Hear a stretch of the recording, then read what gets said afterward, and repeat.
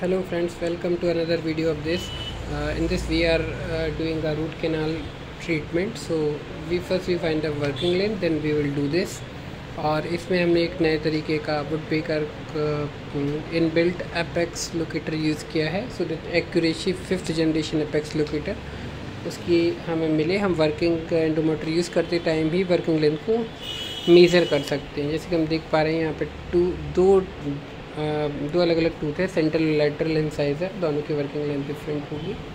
तो हम दोनों में ही प्रॉपर तरीके से वर्किंग लेंथ को एस्टिमेट करके काम करेंगे।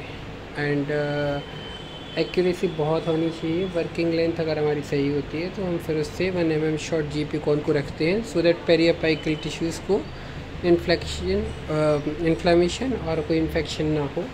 और उसके बाद हम जो एक्सरे करते हैं, वो भी हमारा बहुत प्रॉपर आता है। तो थोड़ा सा टेक्निक बेस्ड है और हमने इसे नया परचेज़ किया है।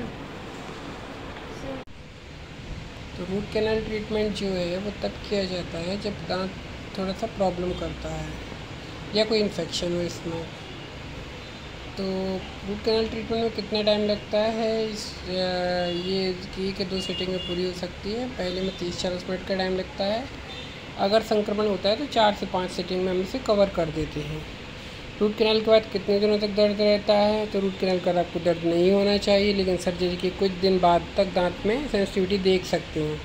ये सामान्य लक्षण। ज़्यादातर मामलों में साइड इफ़ेक्ट एक से दो सप्ताह के भीतर कम हो जाते हैं और फिर डॉक्टर की सलाह पर खाना पीना सामान्य कर सकते हैं। रूट कैनाल का खर्च कितना आता है? कैविटी के लिए रूट कैनाल आरसीटी का अलग अलग ट्रीटमेंट है। ये इसके अलावा ये अलग अलग रैंक पे डिपेंड करता है। तीन, साढ़े तीन हज़ार रुपये स्टार्ट होता है और आपका ज़्यादा भी सकते हैं दांत की कैनल्स पर डिपेंड करता है। बेसिकली कैप इस पर अलग से लगाते हैं, रूट कैनाल में दांत में क्या डाला जाता है।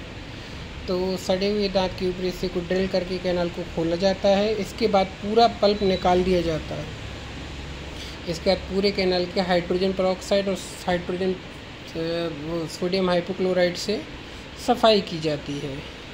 क्या रूट कैनाल हमेशा के लिए रह सकती है? एक ऐसी प्रक्रिया जिसमें दांत को जड़ से उपचार किया जाता है, दांतों को सुरक्षित रखने में मदद करने के लिए। इन उपचारों की सिफारिश की जाती है। कई मामलों में रिट्रीटमेंट सफल होता है दांत जीवन भर चल सकता है। रूट कैनाल दांतों के संक्रमण के लिए बहुत ही सफल उपचार है और हमेशा चलता है generally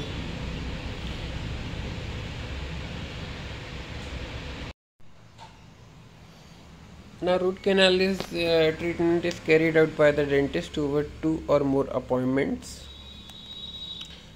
So how uh, preparing of the root canal treatment before having root canal treatment you dentist may take a series of x-ray of the affected tooth. This allows them to build up a clear picture of the root canal and assess the extent of any damage. Root canal treatment is usually carried out under local anesthetic, a painkiller medicine that नाम you are infected and uh, the gum around it. इस case में हमने NSC use नहीं किया है क्योंकि patient का tooth जो है वो नॉन वाइटल है non vital is a dead tooth in some cases where other tooth has died and no longer sense to it may be necessary to use it may not be necessary to use a local anaesthetic removing the pulp you dentist will place a number a rubber sheet around the tooth to ensure it is drying during the treatment rubber dam place करते कभी नहीं भी करते patient irritable होता है तो we will explain how to place the rubber dam in the next video so keep eye eye on this the dam also prevent you swallowing or breathing in any chemical the dentist use the dentist will use a drill to open your tooth uh, through the crown the flat part of at the top to access the soft tissue at the center of the tooth they will then remove any infected pulp that remains if you have a dental abscess which is a pus filled swelling. Your dentist will be able to drain it at the same time. Cleaning and uh, filling of the root canal is the last step. So after the pulp has been removed your dentist will clean and enlarge the tooth canal the root canal is usually very narrow which make it difficult to fill. Your dentist will use a series of small file to enlarge the canal and make them a regular shape so they can be filled. This part of the treatment may take several hours and may need to be carried out over a number of visits. Your front incisor and canine teeth usually have a single root containing one root canal. The premolar and back molar teeth have two or three roots, each containing either one or two canals. The more roots of a tooth has, the longer the treatment will take to complete.